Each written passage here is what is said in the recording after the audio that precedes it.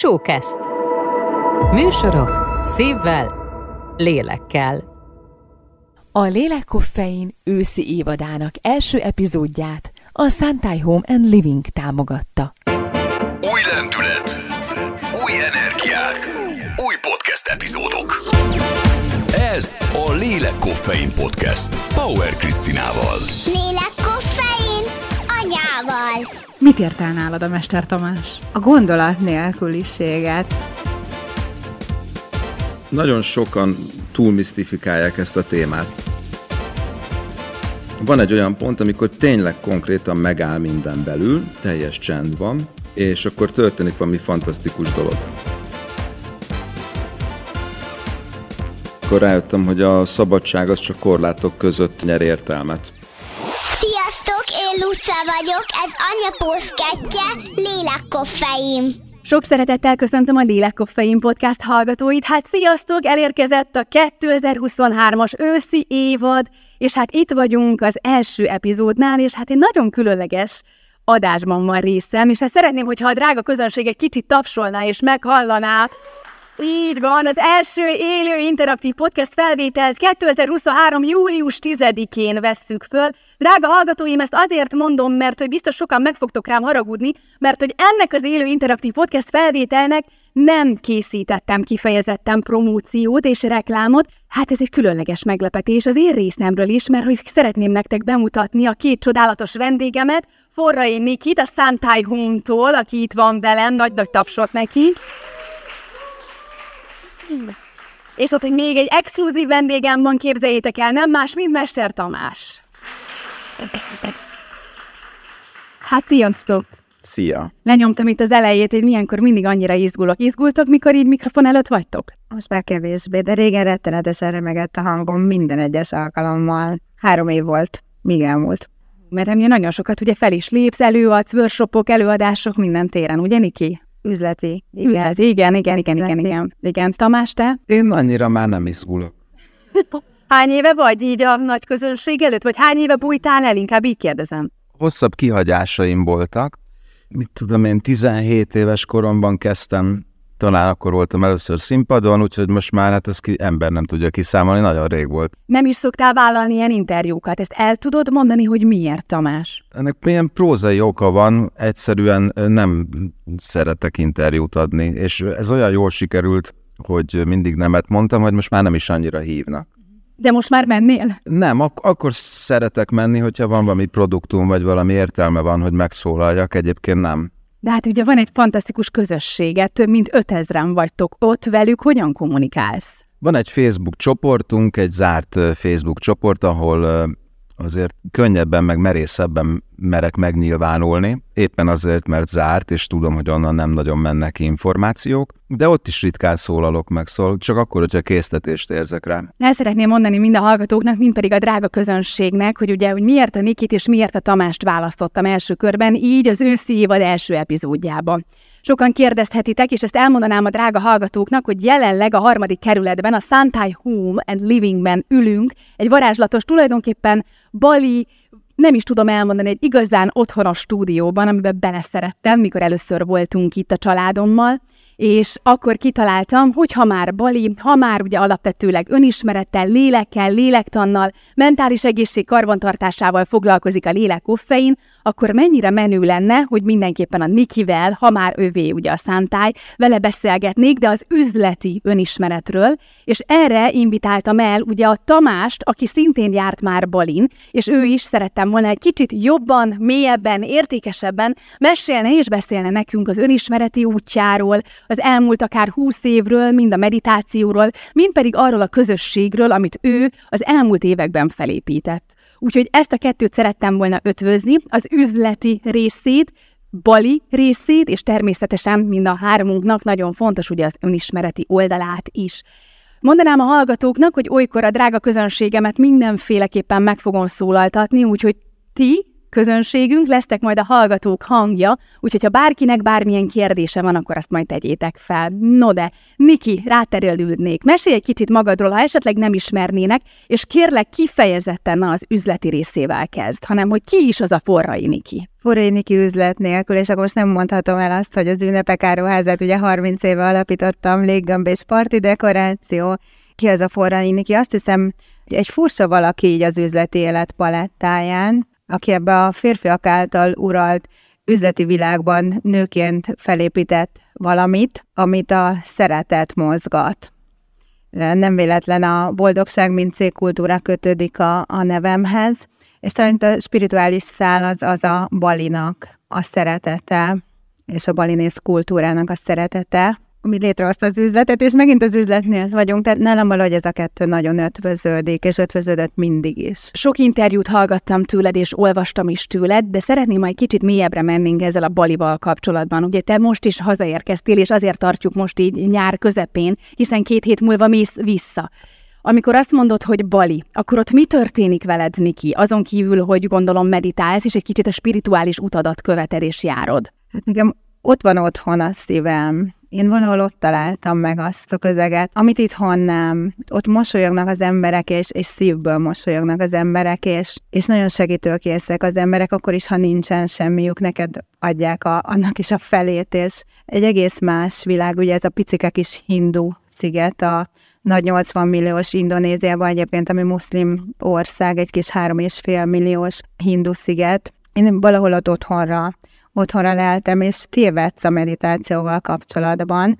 Én Tomit néhány hónapja ismerem csak, és mindössze néhány hónapja kezdtem el a meditációt annak hatására, hogy a Tomit megismertem Balin, és belecsöppentem az Avanova közösségében. Mesélsz nekem egy kicsit erről, tehát idézőjelben véletlen találkoztatok? Annyira nem véletlen. Volt, van egy közös barátunk, aki azt mondta, hogy mivel mind a ketten Balin vagytok, találkozzatok. És akkor én mondom, hogy jó.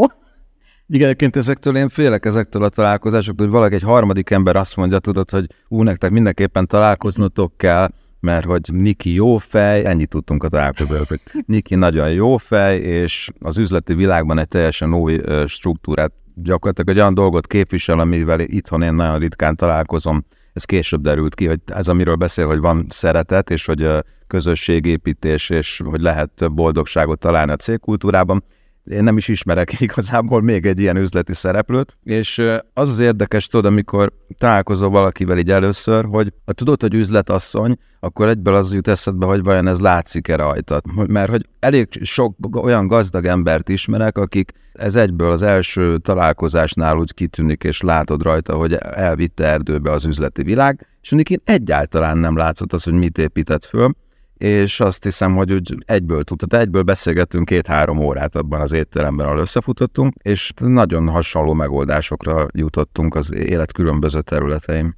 Tehát akkor Nikita a Tamásnak köszönheted, hogy ezt a fajta spiritualitást elkezdted követni Balin? Konkrétan a meditációt. Mm-hmm. Ne, nekem nem igazán sikerült ez, ez korábban. Tudtam nyilván, hogy mi az, próbálkoztam vele, Visel Lakjáni Mindvédi oldalán fent vagyok, és annyira szerettem volna, de még Visel se tudta nálam azt elérni, amit a Mester Tamás elért nálam. Mit ért el nálad a Mester Tamás? A gondolat nélküliséget, azt, hogy, hogy meg tudok nyugodni, azt, hogy le tudok lassulni, azt, hogy, azt, hogy át tudom állítani az agyamat egy, egy más állapotra. És ez szerintem a, a zene, de nekem a zene rész az, az nagyon sokat adott, és a vezetett meditációk is. Tehát megmondom őszintén, engem másoknak a vezetett meditációja idegesít. Nem szeretem a hangját, nem tetszik, amit mond. Én rengeteg angol nyelvű is próbáltam, hallgattam, nem, nem, nem, nem, nem, és valahol itt nálad találtam meg azt, ami nekem jól esik. De egyébként ennek lehet, hogy ilyen prózai okai vannak, hogy egyrészt nagyon sokan túlmisztifikálják ezt a témát. És azt gondolják, hogy ez a meditáció valami olyasmi, ami csak kevés individumnak sikerült, és azok is 30 évig a Himalája valamelyik barlangjában meditálgatnak, és hogy ez egy nagyon bonyolult dolog, ami, ami, amit csak kevesen tudnak elérni.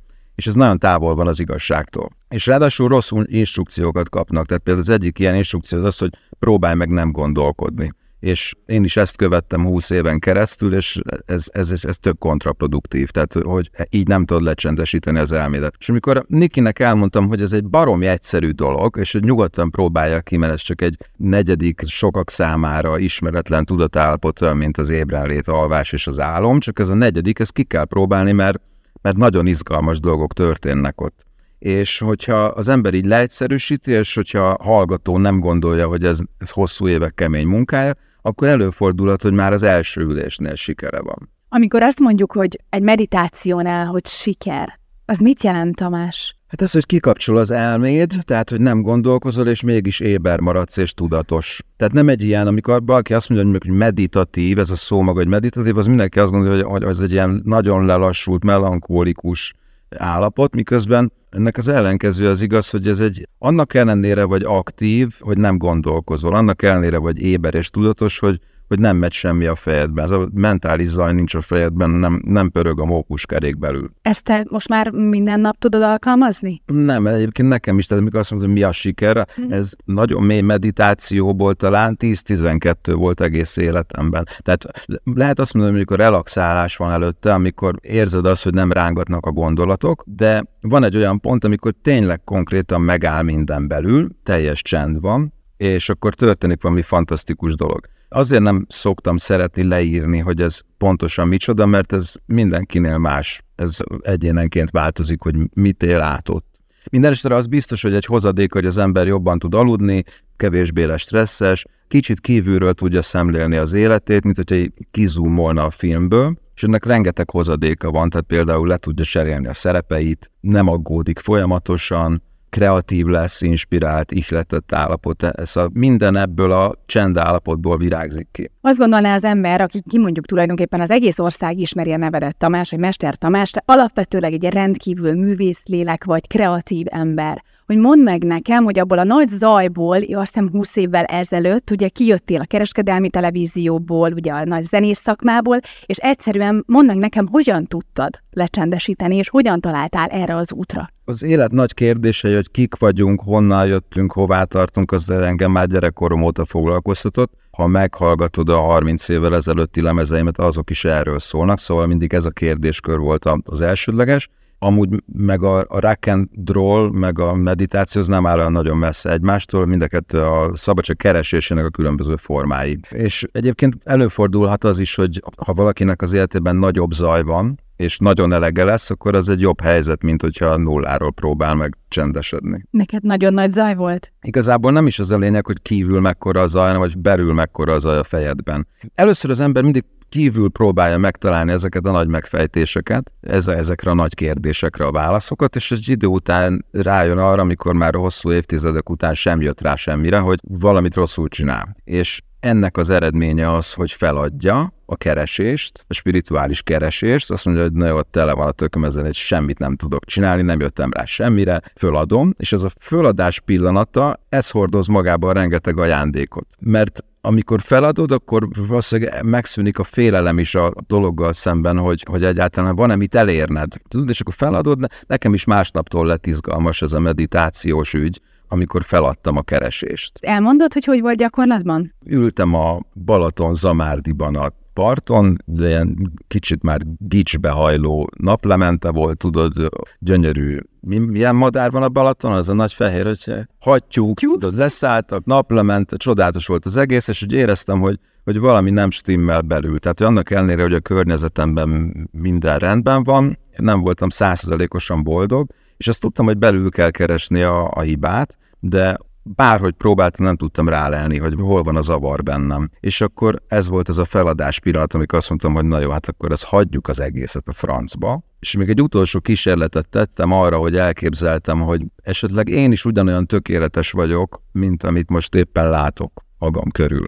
Ahogy a szél, a nap, a hattyúk, a víz, minden olyan csodálatos volt, és azt mondom, hogy miért ne lehetnék én is ilyen tökéletes. Ez a best of me a legjobb verziód elképzelése. És simán az elképzelésétől, meg ettől a feladástól valahogy megszűnt a külvilág, és tehát valahogy harmóniába került a külső meg a belső tér, és ez volt az első olyan nagy reveláció az életemben, amikor megszűnt a testemnek a határvonalai, tudod, és akkor nem tudtam, hogy pontosan, hogy most valami agyvérzésem van, idegösszeroppanást kaptam, vagy ez azért átfutott rajtam, hogy most valami nem stimmel, és az is átfutott rajtam, hogyha most nem koncentrálok a földi létre, akkor lehet, hogy bedőlök a szikláról a Balatonba. De amikor ezen így túljutottam, akkor történt meg először az, hogy végre megértettem, hogy mit jelent meditálni. Ugyanis addig azt hittem az összes relaxációmra, hogy az már meditáció. És amikor végre sikerült először nem gondolkodnom, az barom jó volt, és azóta is ezt keresem. Ez immáron hány éve? 15-20 éve volt ezekkel a dátumokkal, nekem mm. bajom van. És akkor, akkor volt tulajdonképpen, bár én ezt nem nagyon szeretem ezt használni, egy ilyen megvilágosodásod volt? Hát ö, én sem szeretem ezt, mert azt gondolom, hogy a megvilágosodás az, az nem egy, ez egy folyamat, ahol különböző léjerek, különböző szintek nyílnak meg benned folyamatosan, de az az első az olyan volt, hogy ott éreztem, hogy tényleg történik valami, konkrétan megállt az idő, ezt onnan is tudtam, hogy a nap nem akart egyszerűen lenyugodni, tehát ott állt velem szemben, és úgy éreztem, hogy órák telnek el. És az, hogy kiléptem az időből, az azt is eredményezte, hogy a kérdéseim és a válaszok között nem telt el idő. Tehát nem az történt, hogy én kérdeztem valamit, és akkor jött egy felismerés, hanem a kérdés feltevésének a pillanatában megszületett a válasz, éppen az időtlenség miatt, és ezért volt egy ilyen egységélményem, ami jobb volt, mint színpadon lenni, mint bármilyen drog, fölülírt mindent az az eufória. És azóta gyakorlatilag semmi mással nem foglalkozom, mint hogy ezt a tudatállapotot valahogy átadni többféle módon. Erre még visszatérünk, csak rákanyarodnék Nikire egy kicsit. Niki, mesélj nekem egy picit is a közönségünknek arról, hogy számodra mit jelent az önismeret, az önismereti utadnak a megtalálása. Hát engedd meg, hogy egy történettel válaszoljak, és ez a történet szintén a feladáshoz fog kapcsolódni. Én elég sok üzleti tréningre jártam, főleg külföldön, főleg amerikai üzleti tréningekre, és jövő héten megyek egyébként a, a Unleash the Power Within Tony Robbinsnak lesz egy rendezvény, az, a, az, az egy hiányzik még tanítól, de kint voltam egy THR Becker rendezvényen, és eléggé komfortzónán kívülre tologattak minket. És volt egy, egy feladat, egy labirintus játék. A labirintus egyébként egy ilyen kis fa csemetés, ritka kis liget-szerű erdőt képzeljetek el, tehát inkább egy, egy ilyen ligetnek mondanám, mint erdőnek, egy elég nagy terület, és a, a feladat az az volt, hogy a fák össze voltak kötve kötelekkel, össze-vissza. Tehát ez a tényleg a full labirintus, tehát így nem, nem láttad el át, és hogy hol a vége, és teljesen vakon ez a blindfolded bekötött szemmel, odaraktak a liget első végére, és a köteleket fogva a két kicsi kezeddel és tapogatva mentél fától fáig, és ugye a fákhoz elérve érzékelted, hogy azon van talán négy kötél, és hogy akkor talált ki, hogy melyik kötélen mész szépen tovább, és ugye hát ez, ez minden vak sötétbe, és akkor jött a racionális Nikike, aki majd jó aggyal kitalál mindent, és majd ő tudja, hogy a nap az jobbról süt, és majd mindig érzem a napot a balorcámon, hát ez, ez nem működött, és mentünk egy, egy huszan, hát mindenki kóvájgott, nagyon sokszor felismertük azt, hogy ugyanarra a pontra jutunk vissza, már megint itt vagy, már megint csak az a két kötél, megint úgy V van, akkor utána jött a másik agyas megoldásom, hogy na majd én jól megtapogatom a fákat, mert apukámtól megtanultam gyerekkorom, hogy a fáknak a északi felé van a moha, moha egy száz se volt, és egy ilyen, ilyen jó fél óra, 40 perc múlva már nagyon ideges voltam. Úgy szeretnék már kijönni ebből a labirintusból, és nem itt tölteni az egész életemet. És olyannyira ideges voltam, hogy egy, egy nagyon csúnyát mondtátok, hogy lehet káromkodni, de nem mondom el, nagyon csúnyát káromkodtam, és benne volt Isten, és ezt most szégyellem. És még így dobbantottam is hozzá a lábammal, annyira mérges voltam, és ott valami történt abban a pillanatban, mert mindent elengedtem. Tehát az, az volt, hogy én ezt a játékot feladom, mert én ezt nem tudom megcsinálni, én nem tudok kikeveredni, állandóan oda jutok vissza, és attól a ponttól, hogy, hogy feladtam, elengedtem mindent, és így mentem végig a köteleken, tak, tak, tak, tak, tak, tak, tak, tak. Egyszer csak azt éreztem, két és fél perc múlva így a csuklomat így megfogták, és mondták, hogy kint vagy. Mondom, mi van? Tudod, és így lehúztam a, a, ezt a blindfolding kendőt, és így visszanéztem, és láttam egész magam előtt ezt a fás ligetet, és mindenki ott kóvágott az elején, és így hanem mi van? És utána 45 percig tartott, amíg a második ember kiért utánam, és kitalált. Én úgy sírtam, elmondani nem tudom, hogy megtapasztaltam azt, hogy ha feladod, és átadod, akkor ő segít. Csak nem kell akarni, és nem kell erőszakoskodni, és nem kell erőlködni, és nem kell hisztizni, hanem csak, csak rá kell bízni. És olyan érdekes volt, utána még egy-két óra volt, míg mindenki kikecmerget valahogy a labirintuson, és akkor mit kellett csinálnunk, kezdenünk kellett előről, és akkor az egész csapat mondta, hogy menjünk a Guided Girl után, mert ő tudja. Úgyhogy ott, ott, ott lettem Guided Girl a, a csapat számára. Egy fantasztikus megtapasztalás volt, hogy, hogy ez létezik, és volt. Egyébként szerintem itt van egy, ez csak egy teória, de megosztom veletek, hogy, hogy a feladás miért működhet. Egyébként ez az élet egy csomó területére igaz lehet, hogy ha feltesszük azt, hogy az, az ember életét a vágyai meg a félelmei irányítják, mondjuk ilyen manifestáció ügyben, így leegyszerűsítve a dolgot, akkor amikor feladod, akkor elvileg ugye az történik, hogy a feladás miatt a félelmeid azok elmúlnak. Viszont a vágy az még ott marad, hogy mondjuk szeretnék kijutni a labirintusból, csak már nem félek tőle, mert már nem érdekel. És gyakorlatilag ugye a mérleg nyelve az, hogy elkezd a vágyaid irányába menni, mert a félelem már nem irányítja a dolgot. Tehát a feladásban szerintem ez lehet a, az erő. És nekem azóta van az az életemben, hogy, hogy nagyon sokszor van az a pont, hogy vezes, úgyis jobban tudod. És akkor elengedem. Tehát amikor én magam már kevésnek érzem magam, nem tudom megoldani.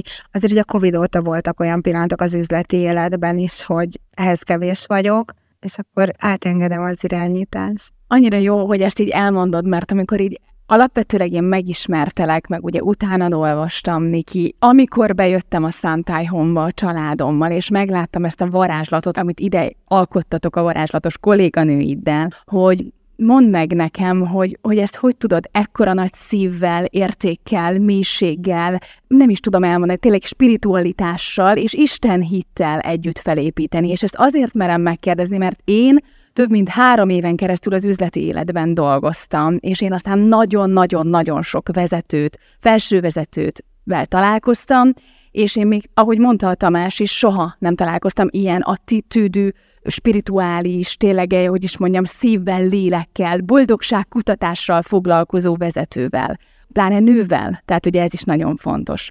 Hogy ezt hogy tudtad megtartani? Nekem volt egy nagyon jó mentorom, hogy Tony Shea-nek hívták, ugye a Zaposznak a legendás CEO-ja, és amikor én a webshopomat építettem 2007-ben, nem volt magyar webshop példa, amit követni tudtam volna, hiszen mindenki akkor építette a webshopját, körülbelül abban az évben, és ezért Amerikába mentem jó példáért, és Tony ugye egy nagyon sikeres cipő webáruházat épített föl, amit aztán közel két milliárd dollárért vett meg tőle az Amazon, Jeff Bezos, és Toninál találkoztam egy, egy olyan vállalati kultúrával, egy olyan ügyfélszolgálattal, ugye az Aposzt az, a, a legendás ügyfélszolgálatáról volt elhíresülve, illetve a, a HR-ről, a munkatárs kiválasztásáról, a csapatépítéséről. Én nagyon sokat tanultam Tonitól, hogy mi az a boldogság, mint cégkultúra, és megtapasztaltam az erejét, hogyha odaadod a bizalmadat a kollégáidnak, ha bevonod őket, a legnagyobb döntésekbe is, hanem a fejük fölött csinálsz mindent, hanem velük együtt. Hatalmas erő tud lenni egy csapatban, és nagyon-nagyon nehéz helyzetekben is. A mi csapatunk az, az mindig nagyon összezár, és nagyon-nagyon együttműködő. Ez a titok. Tehát a csapat is a titok. A csapat a titok, a igen, titok. igen. De szerintem két titka van a, a sikeres cégépítésnek, mindig így szoktam fogalmazni, a rendszerek és az emberek. Tehát az elkerülhetetlen, hogy legyenek jó rendszereid, egy cégen belül, és jó embereid, és akkor egy szabad cégvezető lehetsz. Szabad. Mit is jelent, mert többen említettétek Tamás, de kétszer is, most te említetted a szabadságot.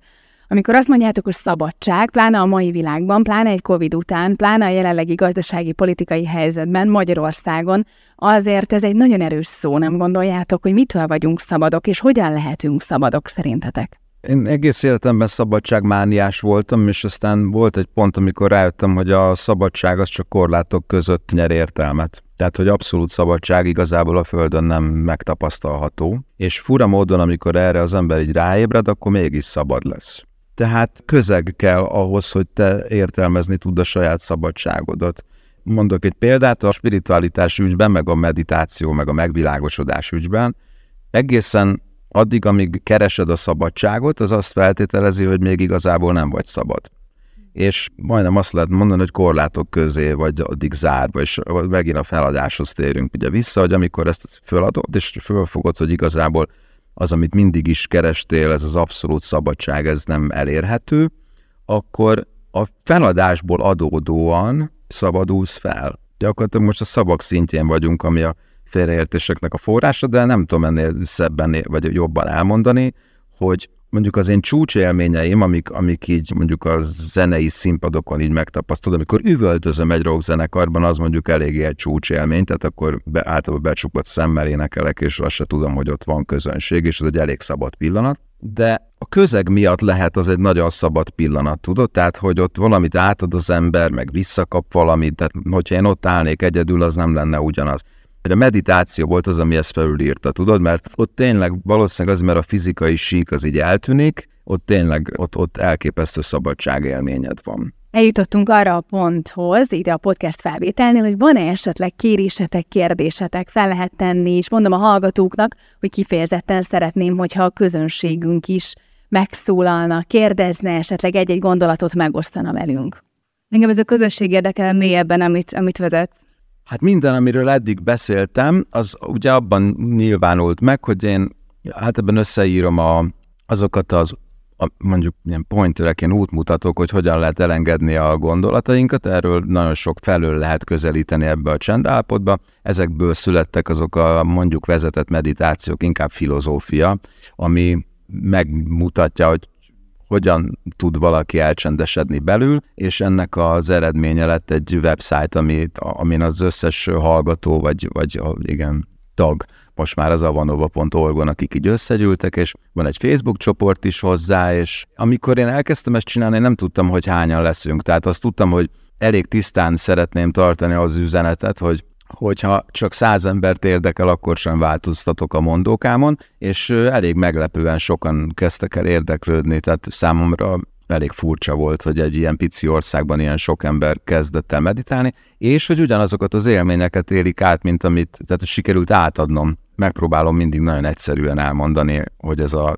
tudatállapot, ez egy végtelenül egyszerű dolog, és nagyon sok embernek voltak ilyen transzcendens élményei, és ez, ez tök jó ennél nagyobb boldogságot ugyanis az legalábbis az én tapasztalataim szerint nem, nem nagyon lehet átélni, mint amikor az ember végre nem gondolkodik, mikor kilép ebből a zajból, és ezek az emberek egyébként nagyon kedves emberek gyűltek össze, tehát hasonszörű emberekkel találkozom ott az Avanova alatt. Mert több mint 5000-en vagytok, Tamás, ugye? Igen. 5000-en vagytok, de most már ez nem csak egy közösség, meg csak egy Facebook csoport, hanem ez ugye tulajdonképpen egy hatalmas, egy olyan energia, amivel együtt dolgozol. Naponta, hetente kommunikálsz feléjük, vagy már inkább egymással a, Inter- nem, mindig, amikor van valami újdonság, akkor azt én megosztom, de egymással is szoktam, nagyon sokan segítik egymást ebben a közösségben, és az nagyon sokat segít, hogy megosztjuk egymással a, a tapasztalatainkat, az élményeinket, és nagyon érdekes kérdések születnek. De és egy csomóra én nem tudom a választ, tehát azért az, az fontos, hogy én nem vagyok guru szerepben, hanem uh,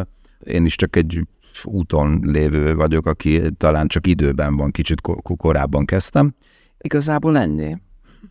Volt egyébként ezt annyira imádom benned. Igen. Nem vagy guru szerepben, és nem árulunk szentelt vizet, ugye? Nem, igen, de rá próbáltok sokan rávenni. Szerintem mi azért találtunk egymásra, mert a Tominak egy jó logisztikára lesz szüksége a jövőben, és én igen, erre egy jó logisztikai érzékel vagyok megáldva. Igen, erre hamarosan kitérek mindenféleképpen, hogy a kettőtök közti kapcsolódás az hogyan is, és miként, hogy is mondjam, teremtődött. Még lett volna egy kérdés ott hátul, jól láttam? Valaki felemelte a kezét, nem? Amióta így hallgatlak titeket, most ebbe a kb. Ebbe a fél órába, egy ilyen nagyon kellemes szívdobogás jött rám, tehát egy ilyen heves szívdobogás, ami nagyon jó érzéssel tölt el, úgyhogy csak akkor ezt szerettem volna egy visszajelezni nektek. Köszönöm szépen. De jól vagy azért?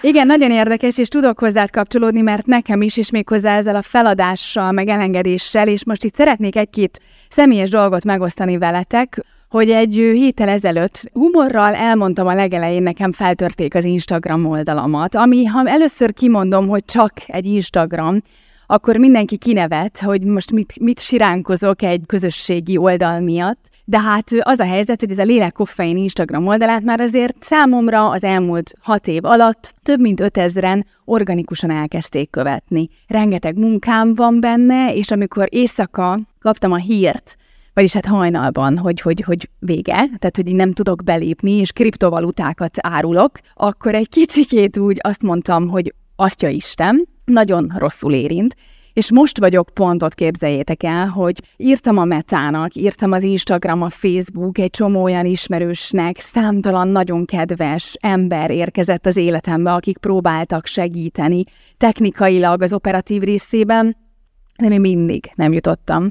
Úgyhogy pont most vagyok annál a területnél, hogy, hogy akkor így, így, így, ezt most így elengedem. Mert nem engem egyébként le, csinálni. Engem egyébként letiltott a Facebook körülbelül egy hónappal ezelőtt, nem pont ugyanaz, mint ellopták volna, tehát hogy konkrétan nem tudtam belépni a saját felületemre, és a mai napig nem derült ki. Mert azt gondoltam, hogy biztosan miatt posztoltam, ami lehet, hogy mi politikai dolgot, tudod, hogy valakinek nem tetszett. De nem szoktam nagyon meglepő dolgokat posztolni, és a mai napig nem derült ki, hogy ennek mi volt az oka. Tehát Visszakaptad? Visszakaptam, igen, de, de nem magyarázta meg senki, hogy miért vették el, és miért kaptam vissza. Én is próbáltam, ha már önismeret, ha már spiritualitás, rengeteg változás van az én életemben is, és pont így fogtam föl, hogy most egy kicsit meg kell állnom, és hogy annyira érdekes, hogy az agy, az elme, hogy milyen szinten el tud vinni ebbe az addiktív dologba, ha már Instagram, közösségi felületek, posztolás, mindenki tegye ki éppen hol van, mit csinál, és mindenki mutogassa a kirakat életet, és akkor most így megálltam, nem tudok jelenleg ezt az eseményt sem.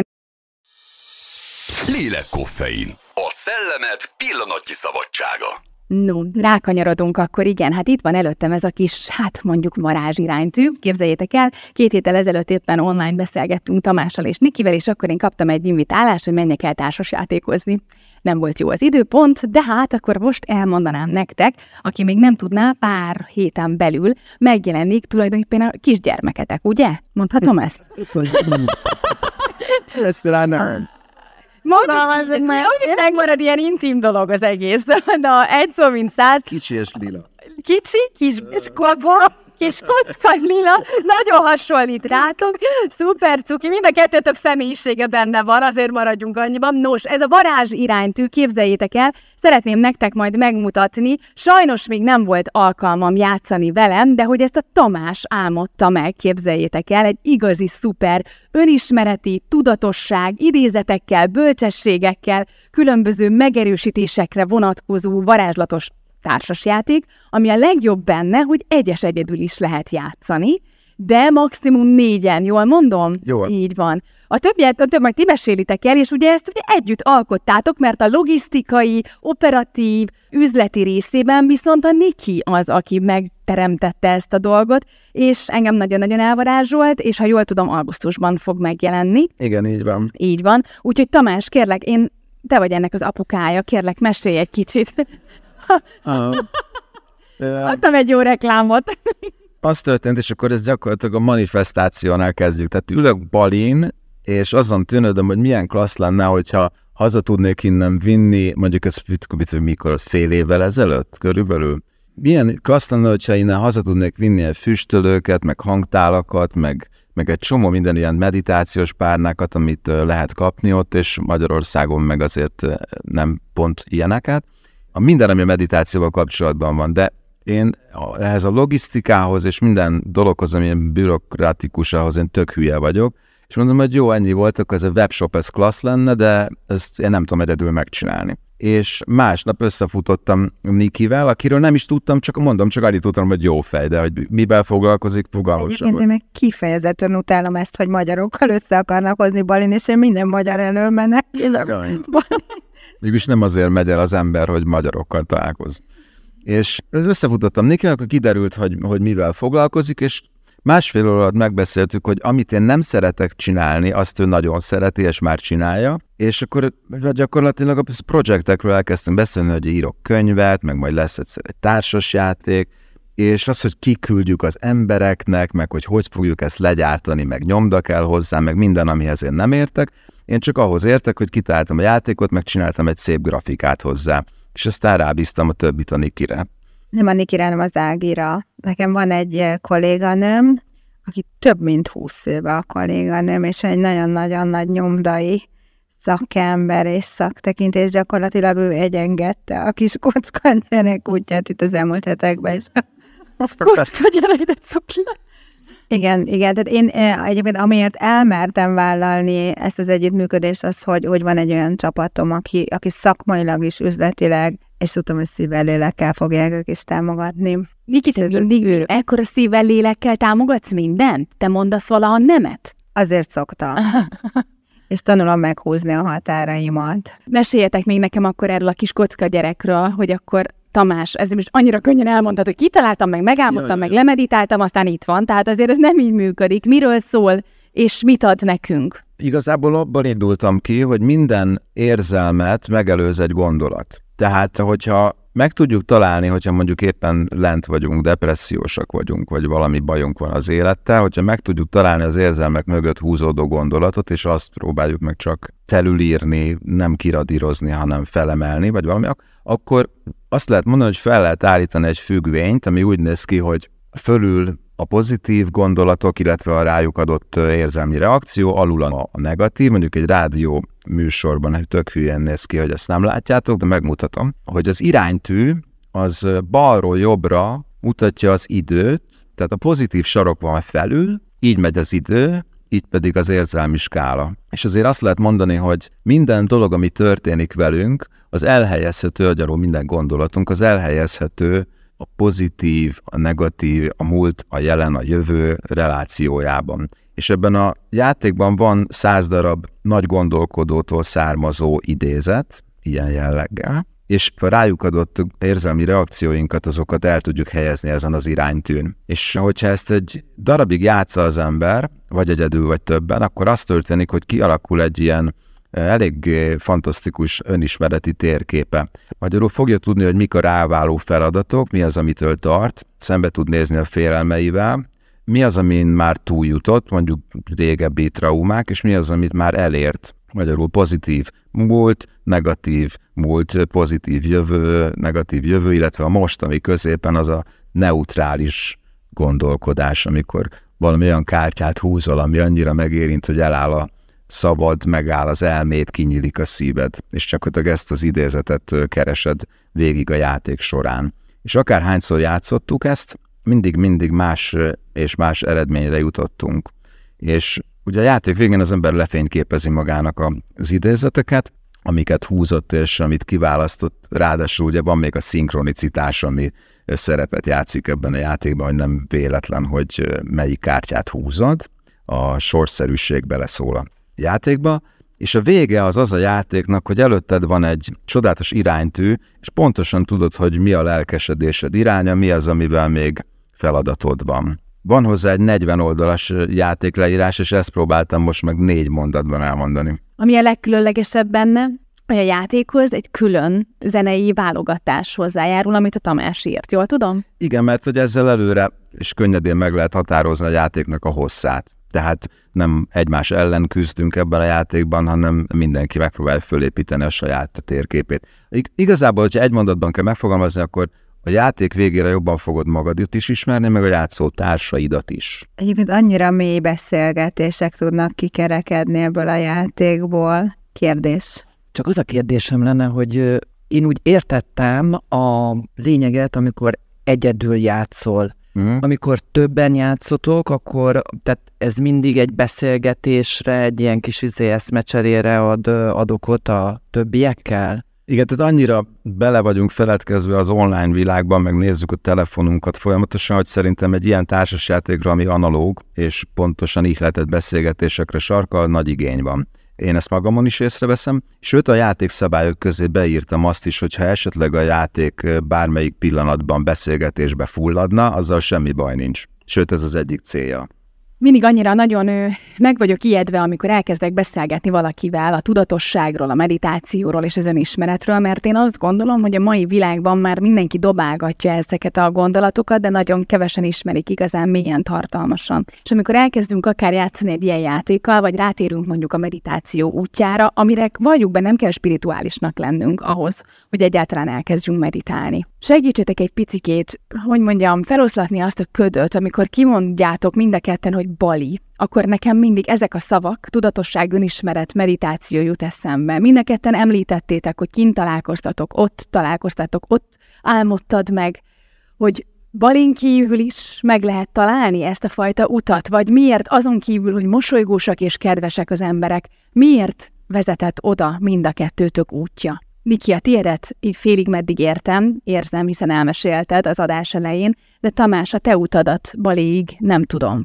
Hát én azzal az indítatással kezdtem Bali felé nézelődni, hogy tényleg spiritualitás központja, meg hogy érdekel az, hogy energetikailag mit fog hozni, és most is azt gondolom, hogy ilyen kettős érzelmei vannak, mert az egyik oldalon megtaláltam, mert írtam kint két könyvet, csináltam egy társasjátékot, elképesztően produktív voltam, és ezt azt hiszem, hogy a hely energetikájának is be kell tudni. Mennyi időt voltál kint? Bocsáss meg, hogy szabadba vágok. Öt és fél hónapot. Aha. És soha életemben nem voltam ennyire produktív. A másik oldala, amit nem biztos, hogy Niki oszt, hogy azért tele van Bali ezekkel az Instagram spirituális, ilyen fake spirituality, tudod, amikor csak azért csinál egy meditációs pózban valaki egy fényképet, hogy aztán az Instagramján meg tudja mutatni, hogy itt voltam Balin, és most aztán nagyon elmélyültem, és én nagyon sok olyan emberrel találkoztam, aki azt gondolta, hogy itt aztán meg fogja találni a spiritualitás lényegét, és azt mondanám, hogy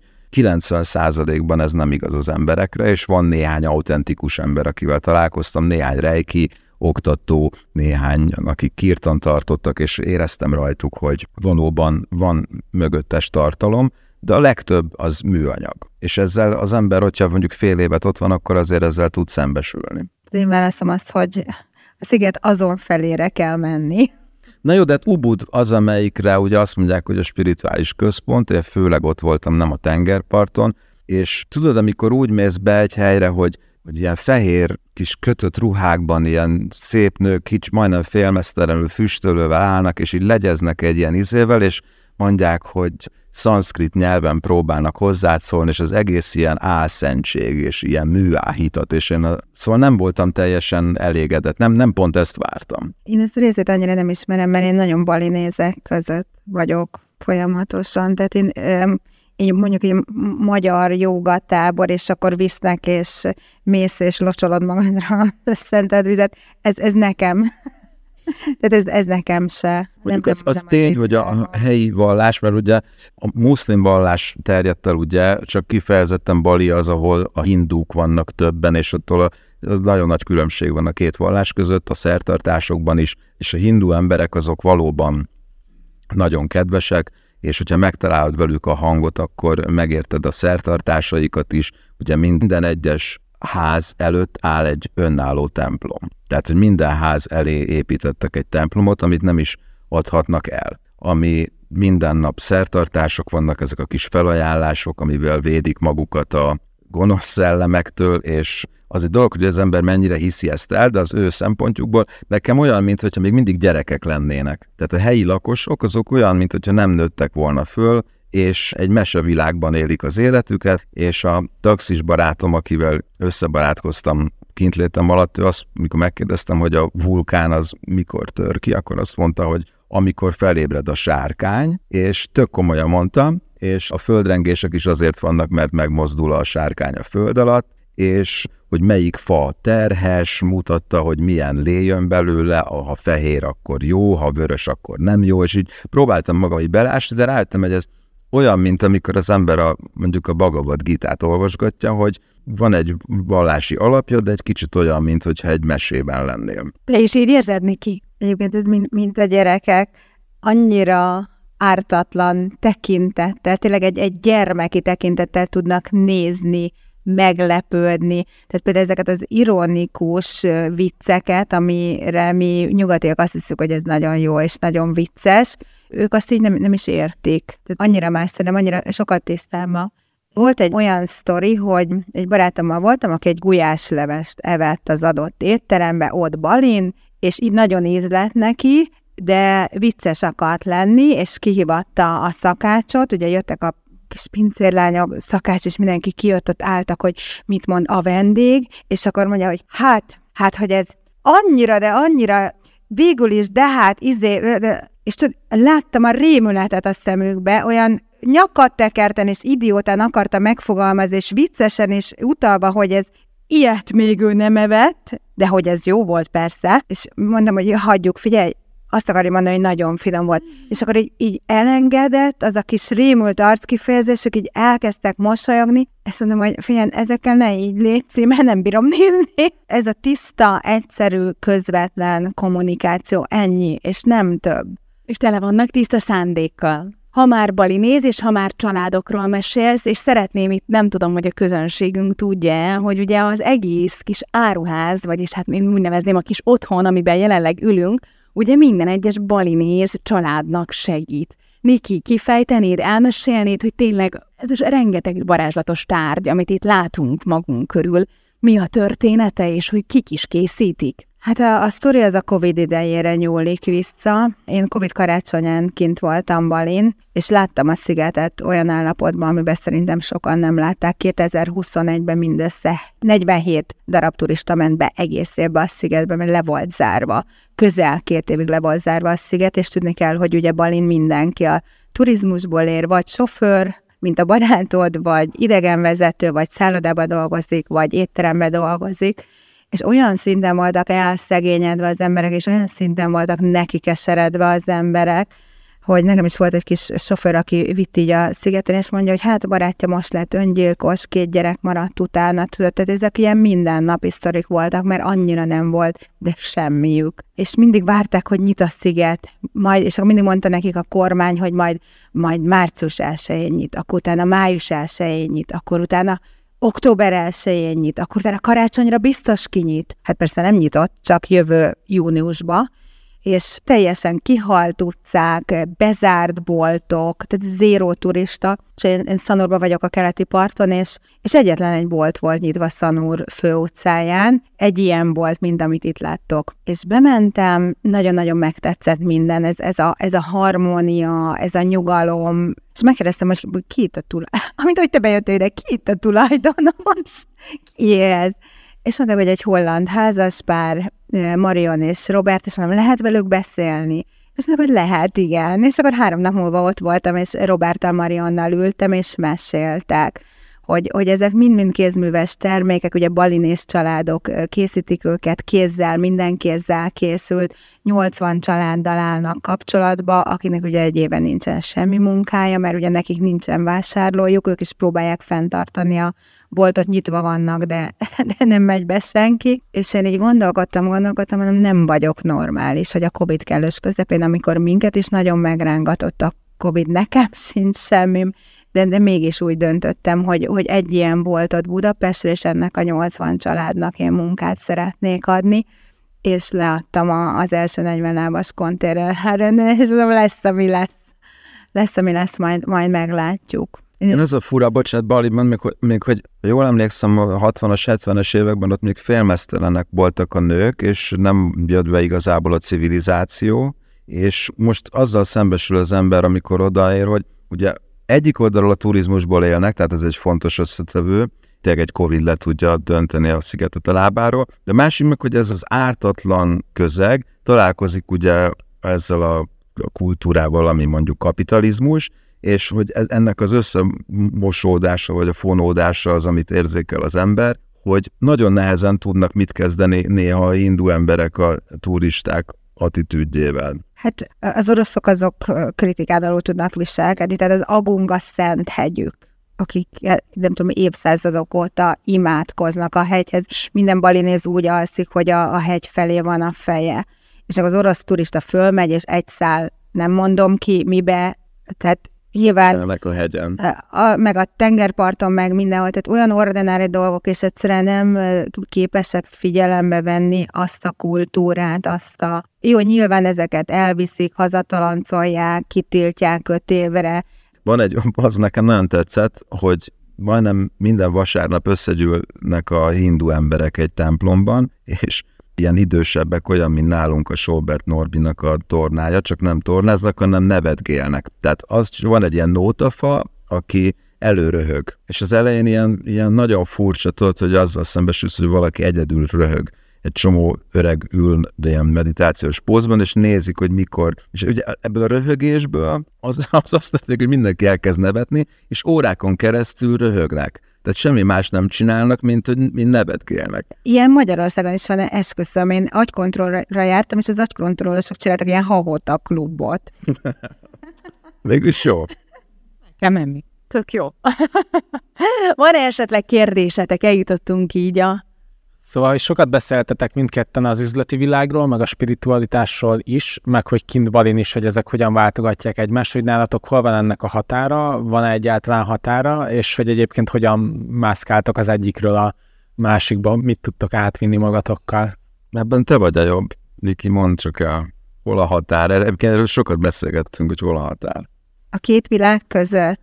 Én mindig ö, azt vallottam, hogy csak olyan üzletet és céget tudsz felépíteni, amilyen te magad vagy, tehát más miatt nem. És nálam nagyon összemosódik. Nálam nagyon összemosódik a kettő. Én meg úgy vagyok vele, hogy miután sosem értettem a pénzcsináláshoz, meg nem is nagyon érdekelt a téma, ezért én mindig megyek a lelkesedésem irányába, és hogyha ennek a mellékterméke az, hogy egyébként hoz pénzt, az jó, mert akkor egy ilyen fenntartató üzleti modellben vagyok, mint például most az Abonovánál tök jó, hogy az emberek hajlandóak fizetni 2500 forintot havonta érte, és ezért tudok új tartalmakat gyártani, de nem csinálnám máshogy akkor sem, hogyha ez nem hozna pénzt, csak akkor azzal kéne szembesülnöm, hogy valamit még dolgoznom kell emellett.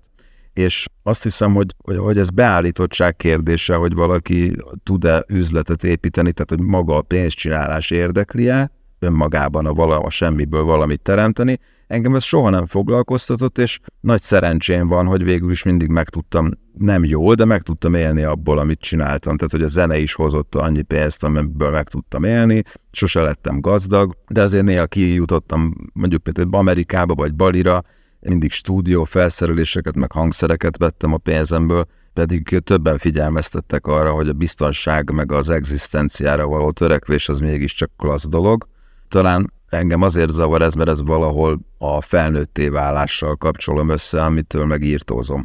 Van, aki még esetleg bátran, nyugodtan, vagy akár a gondolataitokat, mit éreztek most, hogy vagytok most, mit váltottak ki ezek a mondatok, gondolatok, érzések, amiket mi itt beszélgetünk? Nekem nem kérdésem van, hanem visszajelzésem, mert itt egy pár ember ismert, nem sok, de gyakorlatilag ez a szabad gyerek állapot, ez tök jó, akár 40, 50, 30, 70, 80, akárhány évesen, és tök jó, hogy amikor az embernek már van egy gyereke, akkor a, a gyerekén egyébként folyamatosan látja a szabad gyerek állapotot. Tehát az, amikor felnőttként küzdünk a traumáinkkal, hogy feldolgozzuk, hogy vissza tudjunk menni egyébként ugyanabban a gyereki boldog állapotba, az tök jó, hogy ezt így ki tudod mondani. És szerintem valahogy azt látom egyébként, ahogy beszélgetek körülöttem lévőkkel, hogy mindenkinek ez a célja, hogy visszamenjen abba a boldog szabad gyerek állapotba, ahol egyébként tud teremteni.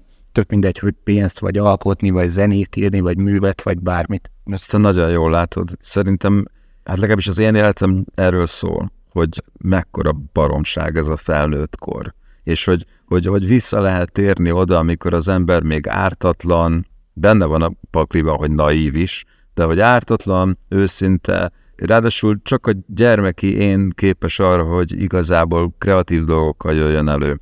Felnőttén az lehet, hogy képes létrehozni a dolgot, de a gyerekén kell a kitaláláshoz.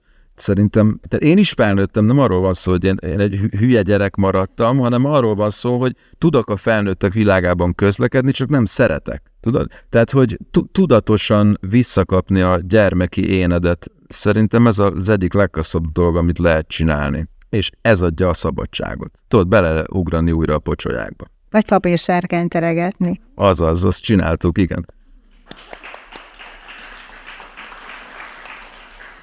Van-e még esetleg kérdésetek? Nem szeretném, ha így bennetek ragadna, és én örömmel veszem, mert hogy ilyenkor a hallgatóimat is képviselitek, és biztos vagyok benne, hogy ezek annyi minden gondolat járhat, mert hogy nekem is a fejembe. Köszönöm. Én csak szeretném megköszönni, hogy neki gondoltál rám, és elhívtál ma ide, mert tényleg ilyenkor azt érzem, hogy nem vagyok egyedül, és nem vagyok hülye, és örülök, amióta Nikit ismerem, tudom azóta, hogy, hogy tényleg nem vagyok egyedül ebben a világban. Ez, hogy nem vagyunk egyedül. És ez jó, így maradhatunk gyerekként, mert ugye a környezetünk azt súlykolja, hogy az, amit te gondolsz, az így nem jó, mert nem ez a normális. Teked a problémával kell foglalkozni, azt kell megold. És akkor ez így jó meg a feladást is mindannyiatoknak köszi, mert én is hasonló cipőbe vagyok. Egyébként nekem annyira tetszik az, hogy most itt gyakorlatilag háromunk közössége keveredik, és amikor megnyílt a szántály, akkor ugye itt azon a napon több mint 200 ember megfordult, és mindenki kapott egy kártyát, amire az volt írva, hogy te barátod az én barátom, és játék vagy az én barátom a te barátom, és és barátkozásra bíztattam az egymás nem ismerő embereket, hogy vegyüljenek ezek a jó kis közösségek, és, és ismerjék meg egymást. Úgyhogy az előadás után benneteket is arra biztatok, akit nem ismertek, akkor menjetek oda, mutatkozzatok be neki. Legalább két ismeretlennek. Itt, bocsánat, hogy amit mondtál, hogy az ember nem érzi magát egyedül, ezt szerintem ez, ez, ez egy nagyon fontos momentum, mert hogy találkozol hasonszörűekkel, és nem gondolod, hogy fú, hát ezt tök egyedül gondolom én ezt a világról, vagy esetleg mondjuk ebben az esetben mondjuk, hogy a gyerek szívvel élni az, az esetleg jobb megoldás, az egy baromi nagy bátorságot igényel, mert ez azt feltételezi, hogy ezeket a társadalmi normákat, amiket ránk aggatott a, a világ, azt már szüleink már elkezdték a tanárok kiskorunkban, hogy esetleg tévednek. Tehát, hogy megkérdőjelezni ezeket az alapállításokat hogy felelősségvállalás, kompromisszum, a jövőnk tervezése az fontosabb, mint a jelen, meg szóval ezek, ezeket érdemes megkérdőjelezni. És hogyha sok emberrel találkozol, akiknek más válasza születik erre, akkor lehet, hogy olyan érzésed lesz, hogy hazaértél. Uh, én csak az előző gondolathoz szerettem volna egy szőszanetet mondani. Pont a napokban jött velem szembe ez, hogy a gyermeki létről, hogy gyakorlatilag amikor megszületik a gyermekünk, nekem is van két fiam, illetve egy lányom, hogy az első két évben lélegzett visszafolytva azt várjuk, hogy milyen jó, hogy járni fog, milyen jó, hogy megtanul beszélni, de az első két év így telik, és az azt követő 18 év, meg hogy ne beszélj, és ő így csendben. Tehát, hogy azért mi eléggé rosszul szocializáljuk ezt a dolgot, tehát mindent elkövetünk, hogy ez a gyermeki lét az el is veszem bennünk, és utána meg hosszú-hosszú évtizedekig tart, mire újra megtaláljuk, vagy, vagy, vagy elkezdjük egyáltalán keresni. Én csak ennyit szerettem volna hozzátenni. Ja, tök igazad van. Meg ezzel kapcsolatban az történik talán még, hogy az ember egy idő után észreveszi, hogy ami, amit felnőtt attribútumoknak hív, az igazából egy ilyen kéreg, mint a fának kéreg. De az nem igazán az önvalója, az nem, nem ő, hanem csak rárakódott egy réteg, és elég azt lefejteni. Tehát, hogy ez az igaz én, az mindig ott van belül, azt nem tudunk tőle megszabadulni, az, az mindig ott van csak érdemes a szerepeinket megvizsgálni, és hogyha azokat le tudjuk fejteni magunkról, akkor ott lesz az az igazi én, aki az az őszinte ártatlan kisgyerek, akivel érdemes találkozni újra. Szeretném nektek megköszönni, hogy eljöttetek, itt voltatok, hogy igent mondtatok. Tényleg azt gondolom, hogy nagyon sok értékes dolgot viszünk haza, de még mielőtt lezárnám a podcast felvételt, elmondom a hallgatóknak, hogy itt a közönséggel mi megszavaztuk, hogy mi szeretnénk közösen együtt meditálni egyet, a Tamás segítségével és vezetésével. Úgyhogy én ezt most meg fogom hagyni így a hallgatóknak is, és kérem, drága Lilekoffein hallgatók, hogy ha ezt így halljátok, hangosítsátok fel, nyugodtan lehet bármikor visszatekerni, a Tamást mégig hallgatni, úgyhogy én ezzel szeretnék búcsúzni. Szeretném itt megköszönni még egyszer a Santai Home-nak, a varázslatos attitűdöt, az egész atmoszférát, az energiákat. Kifejezetten köszönöm a hangtechnikában nem csak a páromnak, hanem a Broadmaxnek a segítségét, mert hogy tényleg technikailag az operatív mindenféle munkában ők tudtak nekem segíteni, hogy ez az adás, ez a kis közösségépítés létrejöjjön, és Tamás, neked is nagyon szépen köszönöm, hogy... Köszönjük szépen a meghívást. Úgyhogy hát kezdjük akkor a meditációt. Lélekkoffein, az elveszett motivációt felderítője. Nem, egyáltalán nem számít, hogy hogy ültök. Tehát általában azok szoktak meditálni, akik szeretnék a gondolataikat elcsendesíteni.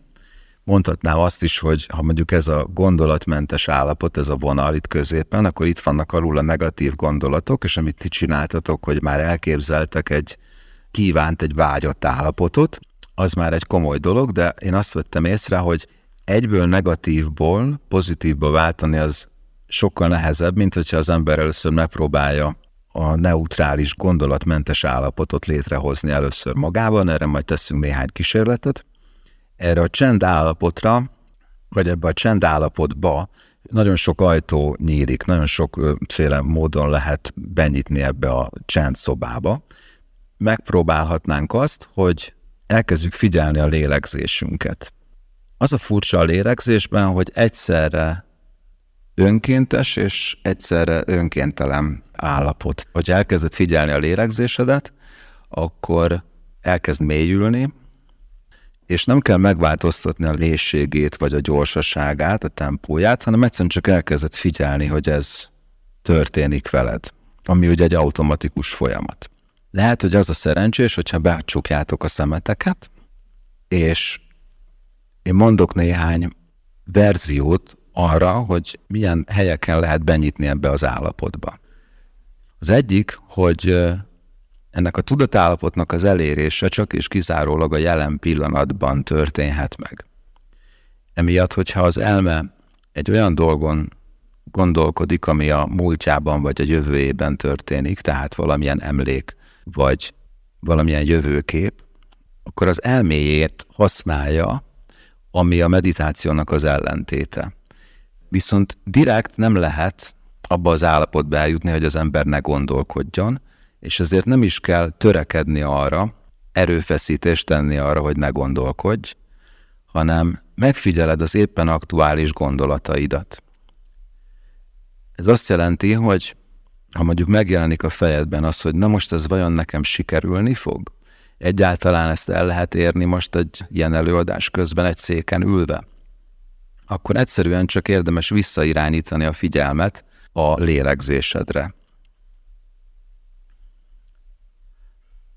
A jelenlét azért nagyon-nagyon fontos, mert a jelen az egyetlen olyan pont az időben, ahol az élet megnyilvánulni képes. Minden történés a jelenben van. Soha nem fogjuk elérni a jövőt, amikor az megvalósul, akkor az már ismét a jelen. Amikor észleled azt, hogy a gondolataid automatikusan jelennek meg a fejedben, és hogy nem te vagy a gondolkodó, hanem ez a folyamat magától történik, akkor azt is észreveheted, hogy amit te, mint lény tudsz csinálni ezzel a helyzettel, az az, hogy megfigyeled a saját gondolataidat. Te vagy a tudat, akinek rálátása van az elme tevékenységére valós időben. Amikor én beszélek, és belül interpretálod azt, amit én mondok, megpróbáld megérteni, akkor a gondolataid, a fókuszod leszűkül arra az egy dologra, amit én mondok. De igazából a cél nem a fókuszálás, hanem a koncentráció elengedése, azaz nem egy szűkítés, hanem az érzékszerveiddel az teljes tér megfigyelése. Ahogy beszűrődnek a zajok, a légkondinak a hangja, a tér, amiben ülünk, mások lélegzése, saját lélegzésed. Amikor elkezded figyelni a gondolkodásodat, és nem próbálod meg elhesegetni az adott gondolatot, akkor ez az automatikus elmetevékenység, ez a mentális zaj elkezd lassulni.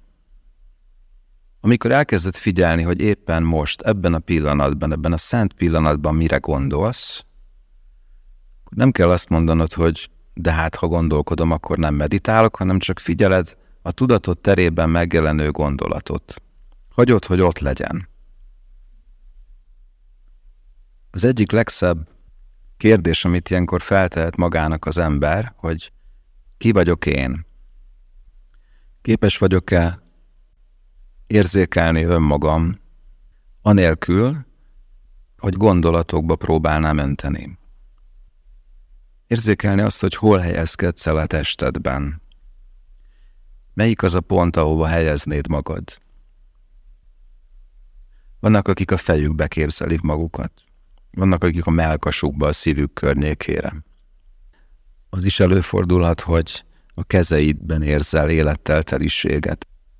Ahogy pásztázod a testedet, megpróbálod kiegyenlíteni ezt a belső energiát, érzékelni magadat az egész testedben akkor történik valami furcsa dolog belül, mindenkinél más, lehet, hogy zsibbadságot érzel, bizsergést, és ahogy az önérzetedet megpróbálod végigvinni a testeden egészen a fejed búbjától a lábujjaid végéig, az energia kiegyenlítődés miatt elindulhat belül egyfajta hullámzás. Miközben teljesen éber vagy és tudatos, és hallod, hogy az utcáról zajok szűrődnek be, közben figyeled a lélegzésedet,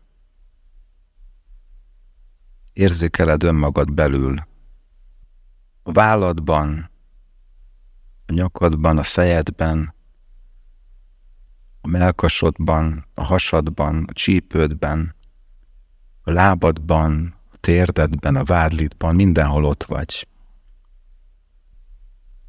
És ahogy érzékeled magad, egyre nagyobb lesz a csend belül. És amikor felteszed magadnak most a kérdést, hogy hol vagy a testedben, ez önérzékelésed nem kell, hogy megálljon a test felszínénél, hanem nyugodtan átlépheti a körvonalát.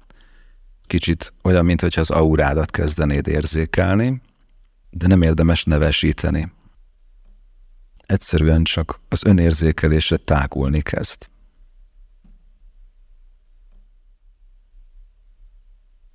Ez a csend az alapállapotunk. mégis jönnek gondolatok, azzal semmi baj nincs, egyszerűen csak megfigyeled a tudatot terében megérkező gondolatot, és hagyod, hogy ott legyen.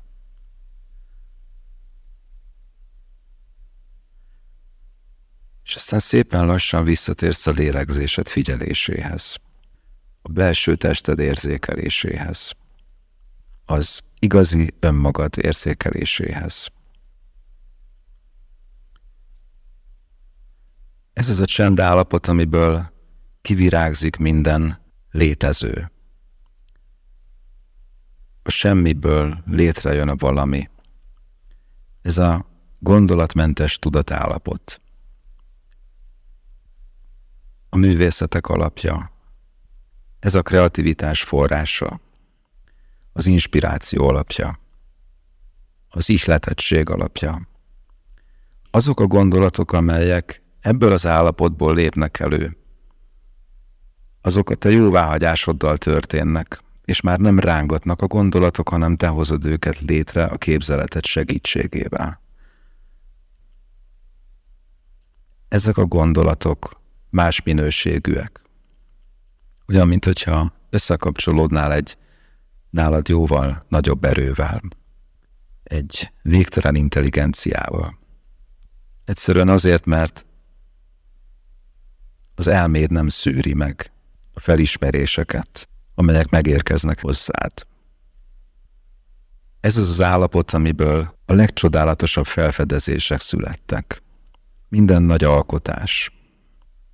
Ez az az állapot, ahol újra tudod fogalmazni magad, mert pontosan tudod, hogy ki vagy. Anélkül, hogy megpróbálnál hozzárendelni bármit. Mikor azt mondod, én vagyok, akkor nem kell utána tenned semmit. Én vagyok. Ez az az állapot, amiből előléphet bármilyen vágy, bármilyen elképzelés. A lelket különböző színeit érzékelni tudod, hogy sokféle vagy. És ez az az állapot, amiben rádöbbenhetünk arra, hogy igazából legmélyebb szintünkön nem is különbözünk egymástól. Ez az alapállapotunk. Ez az az állapot, ahol rálátunk a szerepeinkre, és hogyha kedvünk tartja, akkor akár le is cserélhetjük őket. Ez az állapot, amikor rájössz, hogy nincs mit kiavítanod magadon, mert már tökéletes vagy. Most, ebben a pillanatban is. Én vagyok. Létezem.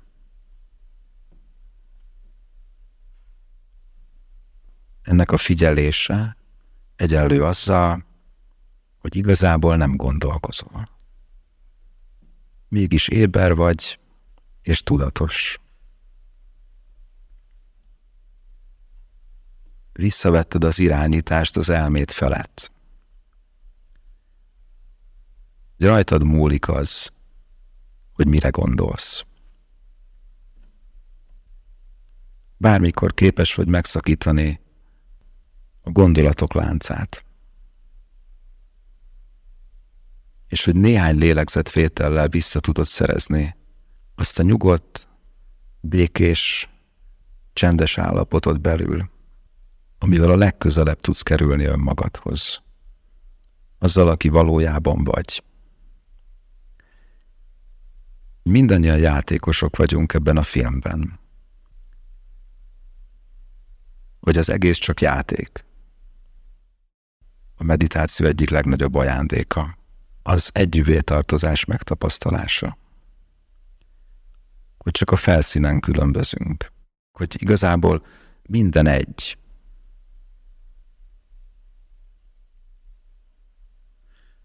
És ne feledd, tudatosságot határtalan, a teremtő erőd végtelen, a játék örök.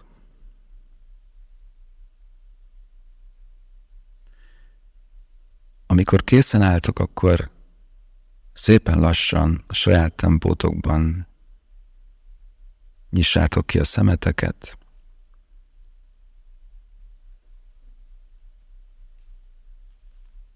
Jó reggelt! Ez volt a Lélek Koffein Power Krisztinával. Lélekkoffein.hu Tetszett az adás? Szerkesztenéd a podcast epizódot? Te kivel készítenél interjút? Kinek az életútja érdekel? Kivel ülnél le egy kávézás erejéig? Ki az, aki téged inspirál? Ki az, akinek számít a véleménye? Ír nekünk a podcast kukac lélekkoffein.hu-ra, és mi felkeressük, és lelkizünk egy picit a kedvenceiddel. A műsort támogatta a Santai Home and Living. Együttműködő partnerünk a Just Now Production.